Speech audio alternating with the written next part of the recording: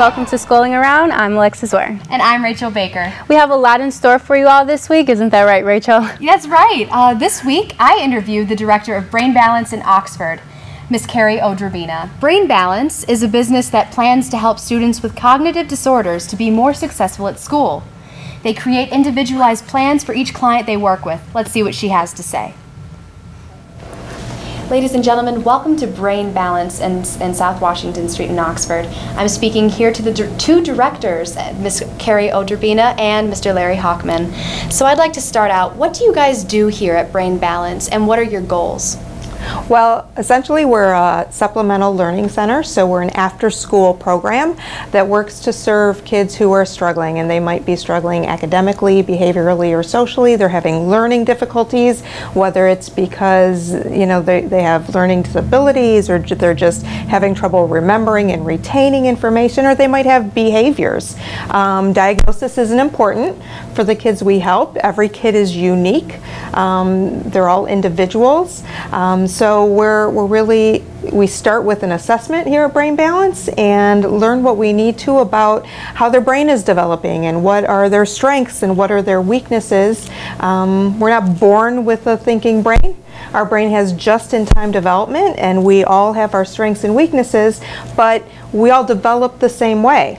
And so there are developmental milestones um, that are critical for all of us. And when those start to um, get off track, when things happen and development isn't happening the way it should, um, it can create maturity issues, it can create imbalances between the two hemispheres of the brain, and that leads to the child not being able to process information the way they should to reach their potential. And what do you guys do to help bridge those gaps in the brain? Well, we do so many um, exercises that I don't know that you'll see anywhere else. Um, we do sensory motor exercises. We do um, visual exercises. We do olfactory exercises. We do auditory, and we pair them with academic training, academic learning, so that all of the elements that a kid needs, that a child needs to succeed in school become integrated. And rather than just seeing little bits and pieces here and there, we build the whole student. We integrate all of their talents, we address their weaknesses, and, and we send kids off ready to succeed in a way that they've never really experienced before. It's a very holistic, all natural program. Um, so, yeah. And so the, the kind of students that you train here have uh, cognitive disorders or learning disabilities. If let's say there's a parent at home and they're recognizing that their kid is struggling, but they're not really sure if it is a neurocognitive disorder yet and they haven't gotten a diagnosis, what can they do? What would you recommend? What would you say to them? Well, every student is is unique, and when parents know better than anybody when their child is struggling, um, whether they have a diagnosis or not. And it, there's an epidemic rise in all areas of neurodevelopmental disorders. Everything from learning disabilities, uh, dyslexia, dysgraphia, processing speed issues, sensory issues, um, ADD, ADHD, spectrum disorders, childhood anxiety, those are all neurodevelopmental issues.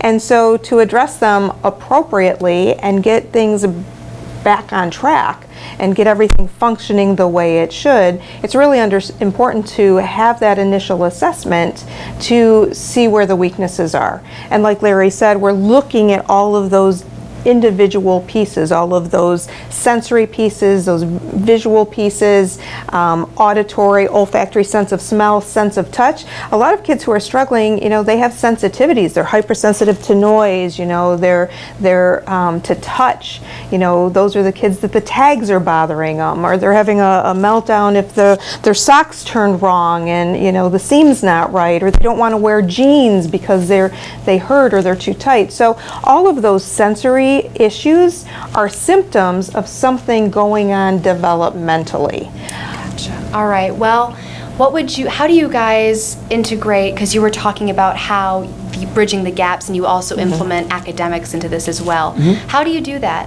how do you uh, train a kid to overcome their um, their weaknesses, also on an academic front as well as developmentally. Can I start? Yes, please do. Okay. So there's a really good visual. You know, none of us are born with a thinking brain. The brain has just-in-time development, and as we develop, um, we're creating neural pathways and connections in the brain that mature that brain to an age-appropriate level and give us a teachable brain. So, you know, for you to be successful in third grade, your brain needs to be matured to an eight or nine-year-old level. And so, think about an immature brain, a newborn brain like a rock. You know, it doesn't have all those neural pathways and connections that it needs. And so, if you're, you know, if if development gets off and pockets of the, the brain stay immature, then when we try to pour second grade or seventh grade or 12th grade content over it, it's like water over a rock. It's splashing off. And so those are the kids that are frustrated. They have to, you know, be exposed to things over and over, and the parents spend hours on homework trying to help their child learn because they know it's not coming easily. And and just when they think they have it, now they go in the next day for that test, and it's gone again. And so what's going on is that brain isn't developed to an appropriate level. It's not the sponge that it needs to be to pull in and retain this information and be able to squeeze it out when you need it. Right? And so we're really looking at where are those areas of immaturity. And what we do here at Brain Balance is we create the sponge. We create that teachable brain. And so when you re-expose, once the once the capacity is there and you re-expose the child now that they're ready for it to that academic material that they couldn't master previously, now it's like, oh yeah, no problem. Right?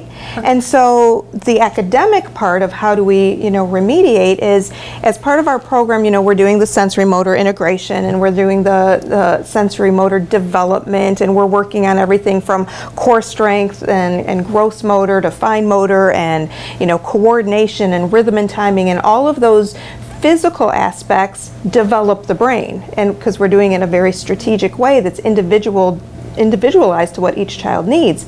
But at the same time, you know, we've already we've also assessed them academically. And so now we're re-exposing them to the things that they weren't previously able to master. And, and with that, I think we'll take a break and that back we will toss it back to Alexis and her OELC interview, but stay tuned for next week with more from Larry and Carrie at Brain Balance. Hi guys, I'm here at Oxford Early Learning Center. Today is the three and four year olds first day of school. So I'm gonna go talk to some of them as well as some of the teachers and see all the cool things they have planned for today.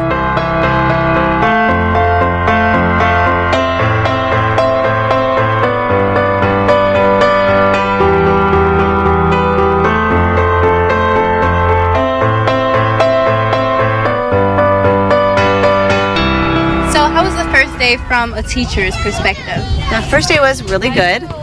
We didn't have anybody cry this morning, which is amazing because you usually have one or two criers. They don't want mom to leave. Right? That's normal. Um, it was amazing. They did really well. They caught on to the routine. Had a lot of really good listeners. We had um, a good time at work time today, which was our playtime. And um, yeah, overall, it was just it was a really good day. I was very pleased. Very pleased.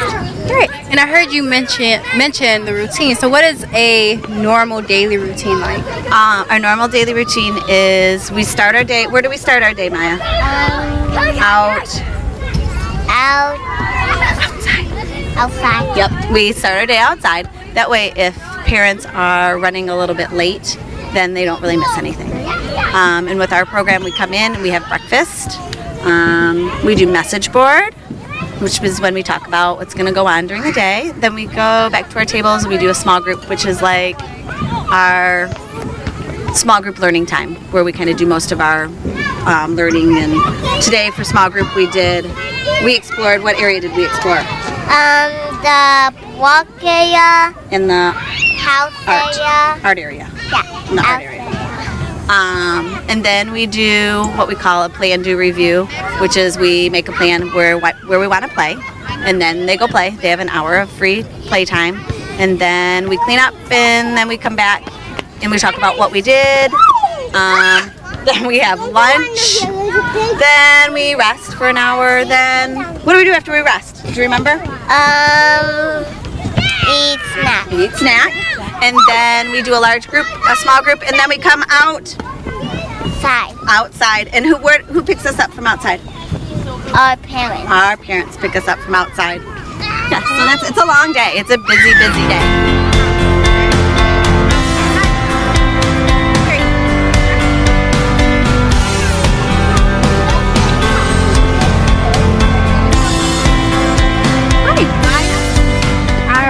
You want to hold it a little bit? You can hold it with me. Yeah. So, how was your first day? I was good. It was good. What did you do all day? I waited at school and I go outside and, and I eat breakfast and I take a nap and, and I eat lunch. Wow, was all that fun? What'd you have for lunch today? I had it, um, we had it, uh, we had a chicken nuggets, Whoa, those are good. apples, and, and we had it vegetables. Wow. Did you eat your vegetables? Yeah. You did. High five.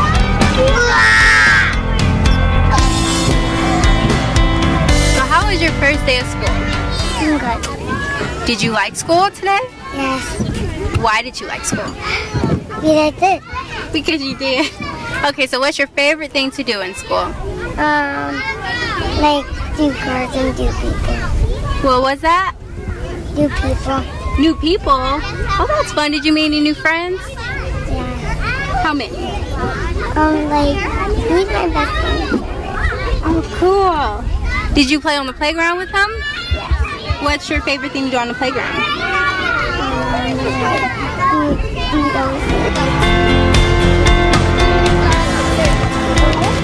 Nicholas, how was your first day of school?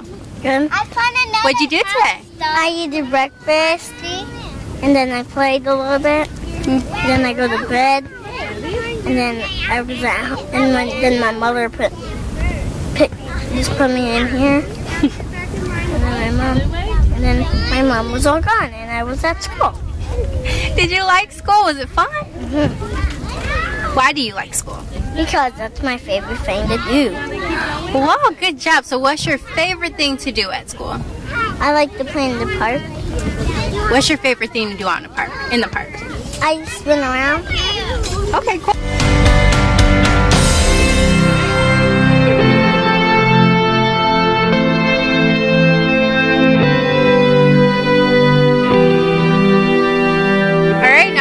Now with Miss Pat. Miss Pat, what is your official title?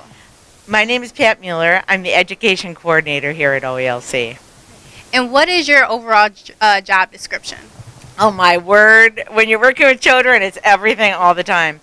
Um, I enroll for many of our preschool programs, especially our off-site preschool programs, and I do curriculum training and supporting teachers so that they know what they're doing in the classroom and have the support to do it well. Right, okay. And then I noticed you said curriculum. So, what kind of curriculums? I know it's a few different grade levels here. So, let's start with the first day students. what is their curriculum? Actually, it, we're interesting in that way. All of our programs, whether they're infants and toddlers, whether they're school age kids, or whether they're preschoolers, we use the HighScope approach with all of these students. It's basically based on the idea that all, all people, and children especially, learn when they're actively engaged in their environment with well trained teachers and small group sizes. This is what helps ch- children to learn how to learn. If we need to know how to learn, this is the time to do it when they're very young. So, what kind of um, learning goals do you set out for the year? Actually, we have a thing called KDIs, and KDIs are key developmental indicators, and they're actually in 10 different areas math and science, language, literacy, social, emotional, um, social studies, uh, and science. Um, and all of those are wonderful because they dovetail with our second curriculum, which is actually IB. We're an international baccalaureate school as well, so we're part of the continuum here at Oxford Schools in using that approach. So, when students first come through the doors um, at the Early Learning Center, what age are they typically, and then what age do they exit? You know, I would say that the majority of our students start when they're young preschoolers. And then, but we do have infant and toddler programs. We're just, we're not a huge infant and toddler provider. By the time we're done with extended day and going all the way to fifth grade, we have a, a great number of students, 400 students.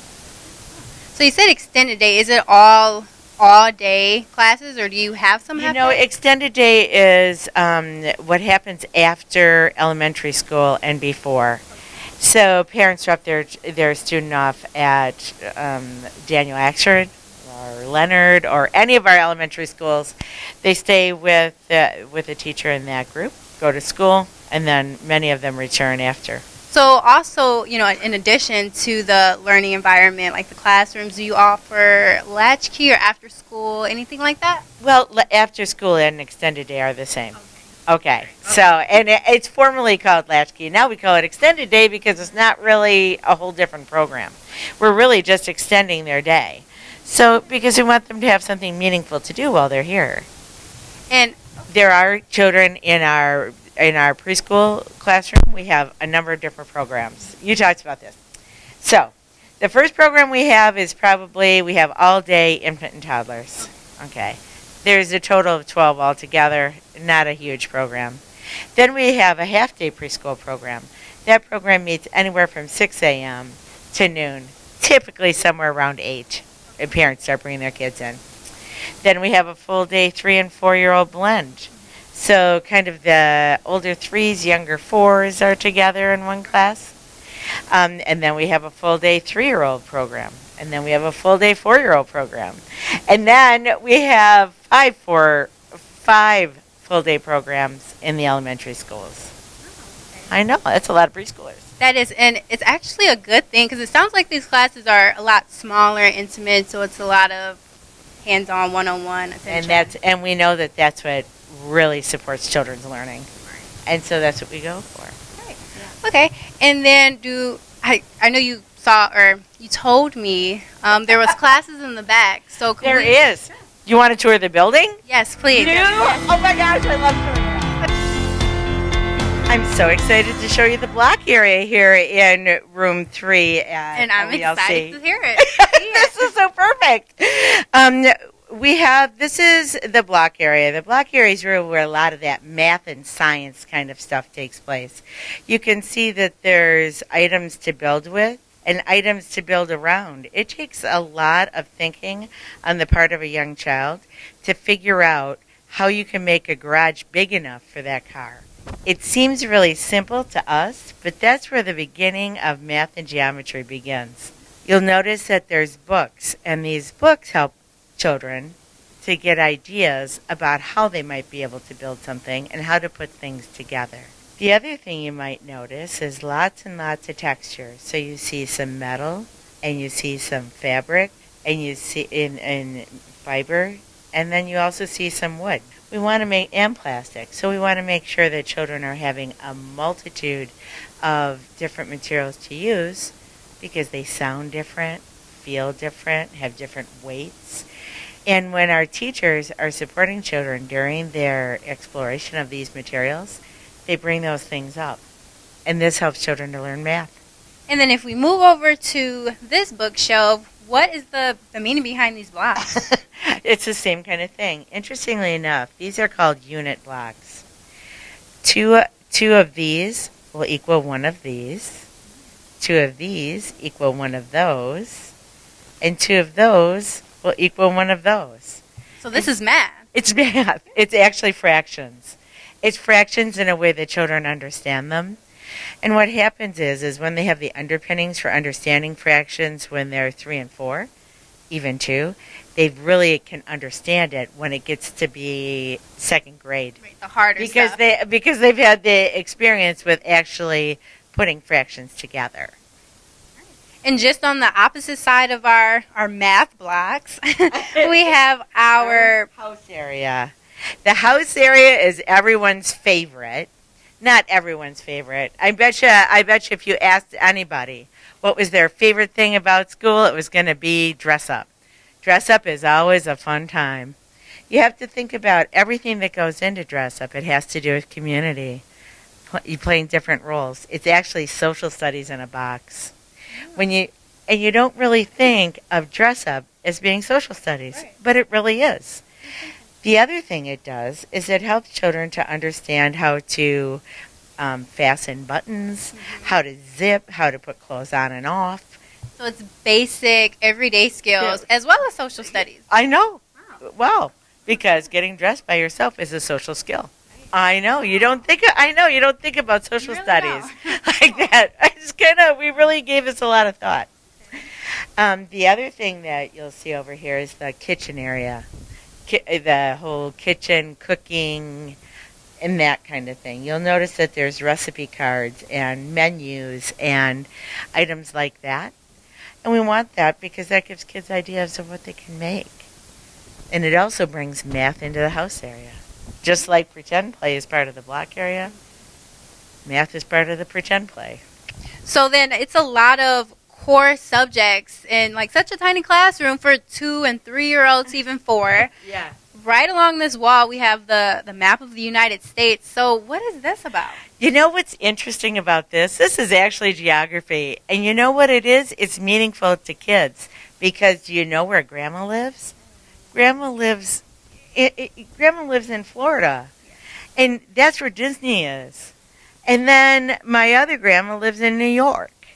And they figure this out and they and they look at these different colors and they can identify that they're different states. Right. They may not be able to say everything there is to say about them, but by the time they get to a place where maps are used in a more traditional way, they should have an underpinning of understanding of what they're used for and why are they important. Great. And I keep going to the, back to the fact that this is all early learning. This is before, you know, four year olds. I know you don't even think about it. Uh, other things that you'll see over here, this in the toy area, you see puzzles and you see lots of things to do with your fine motor and your little muscles, and that's really what the, what this is. That's what this whole area is made up of. So things like um, the the latch puzzles and putting together the bears and sticks and figuring out how to get the blocks to stick together. That kind of thing. Lots and lots of problem solving over here. The, these are the engineers of America sit here. And then this is the coolest thing that I've seen thus far in the classroom. I mentioned this as soon as I walked in the door. A little mailbox. Isn't that cute? It's part of the writing area. Writing is something that we kind of take for granted. It doesn't just happen. People write because it's something important to write about. So writing a letter to someone. We have kids who are writing checks. Isn't that cute? They write checks, um, which I thought was crazy. I didn't Yes. know people did that anymore. But um, they write checks, and they also send people invitations, lots of invitations, and cards. This is really cool because I mean you've mentioned every other core subject that I know of. so this is also English language arts. Yeah, it's language arts. You're you're correct. Also, language arts is behind you.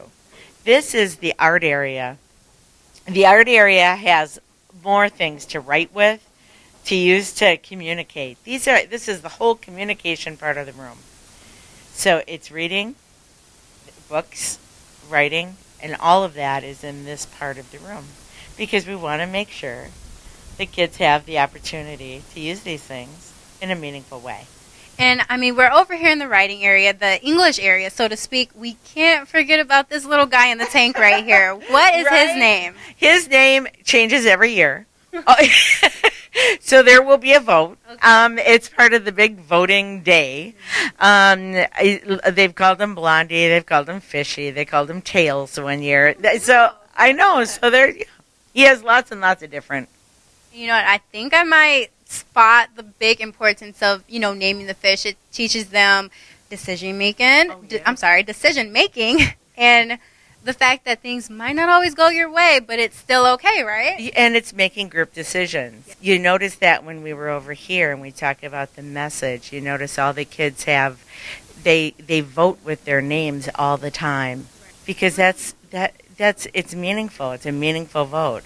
What do you want to name this fish? I want to name this fish Spot. Yeah. Yeah, or what? that was a that was a contender one time. okay. so yeah, right. So you get those ideas, and kids start to be able to think about what this language means. The other thing is, it's kind of fun to draw a fish. Looking at the fish, right while you're drawing it, you know, you know, and it makes a noise. So you have more and more of that sensory and um, Yeah, just skills in general. Right. So we're just gonna head out the door. I am so glad you visited today. Thank you so much for coming by. It makes me so excited to share our programs with you. It was so much fun getting a tour of the classrooms. I can't wait to see the rest. But for now, we're gonna take a quick commercial break. When we come back, Rachel Baker.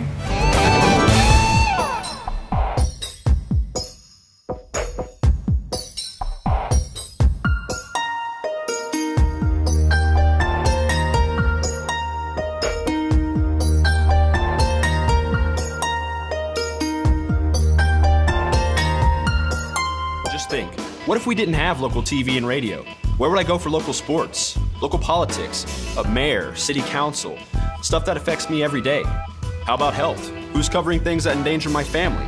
I need to know now, as it happens, from sources I trust, people in my community.